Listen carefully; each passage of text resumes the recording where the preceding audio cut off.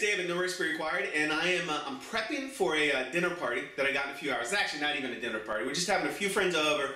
We're gonna have some food. We're gonna have a lot, a lot, a lot of wine, which um, always makes the night better.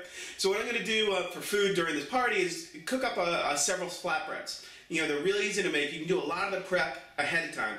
Cook off all these toppings, and then really, as people get here, you just throw them on the bread, throw them in like a 450 degree oven. They take like six or seven minutes to cook. So they're absolutely perfect for nights like this where um, you know people are arriving at different times. You can make them, pop in the oven, go back to the party, have a sip of wine. A few minutes, they're done. You just kind of bring food out all night. What we're going to do is a, uh, an apple, brie, and onion flatbread, the trifecta there. You know, the brie brings this nice creamy, nutty flavor. The apple's a little sweetness, and the onion's just a, a tiny bit of crunch there. Really simple to make. Let's go ahead and show you how to do it. Okay, for our brie and apple flatbread, I'm going to throw a little caramelized onion on it. So I've got half an onion, just a yellow onion here. Sauteing it off with a uh, little bit of olive oil, good hot pan, and a little bit of salt.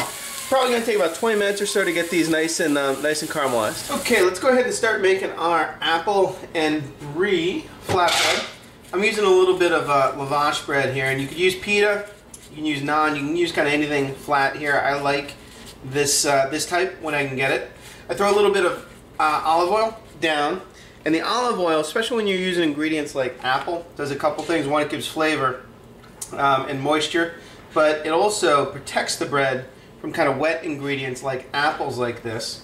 Otherwise the juice kind of might flow through or will more easily flow through to the bread and make it a little soggy. I've just got some thinly sliced apples here. I did mine with a knife. You can certainly use a mandolin.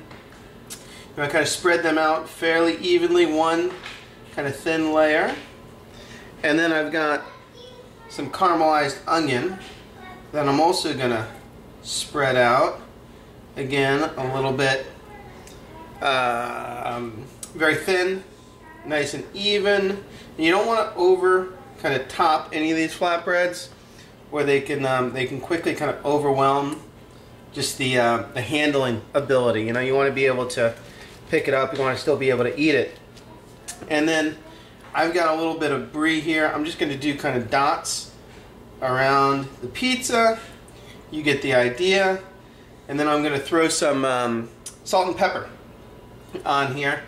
And this cheese is going to melt nice and easy in a 400 and uh, like 425 degree oven for about eight minutes, seven eight minutes, and um, it's all going to come out just nice and beautiful.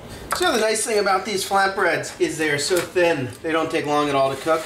Seven or eight minutes in the oven, you get a nice crispy crust, and you get a absolutely beautiful golden brown top. That brie cheese is melted, the apple is just slightly softened, and you are good to go. I'll see you next time on No Recipe Required.